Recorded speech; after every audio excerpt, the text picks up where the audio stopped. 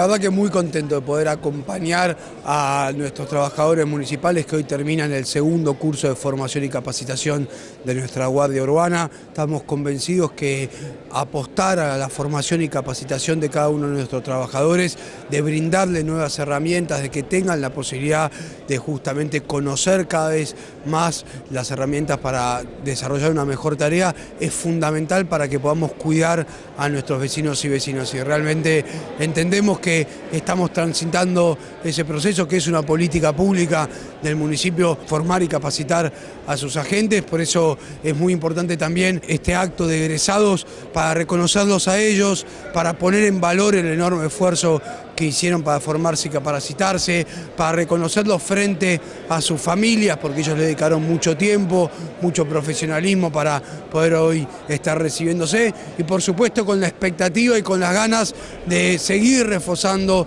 nuestro sistema de seguridad, seguir reforzando el trabajo que hacemos todos los días de la municipalidad para cuidar a nuestros vecinos, para que podamos vivir en paz. El primer día venimos trabajando con el secretario de Seguridad en un abordaje integral de la seguridad, por supuesto incorporando móviles para que puedan patrullar nuestras calles, incorporando herramientas de tecnología para poder trabajar en seguridad de manera preventiva a partir de las cámaras, a partir de las lectoras de patente, pero también bueno, la posibilidad de celebrar hoy en este club tribarrial este acto de egresados también es muy simbólico porque tiene que ver con haber inaugurado un jardín, haber inaugurado una escuela, inaugurar un club para que nuestros chicos estén en casa con sus familias, en la escuela o en un club, que significa que no están en la calle. En definitiva, son políticas públicas integrales de cuidado del espacio público, de generar espacio público de contención para nuestras familias y a eso, por supuesto, que le sumamos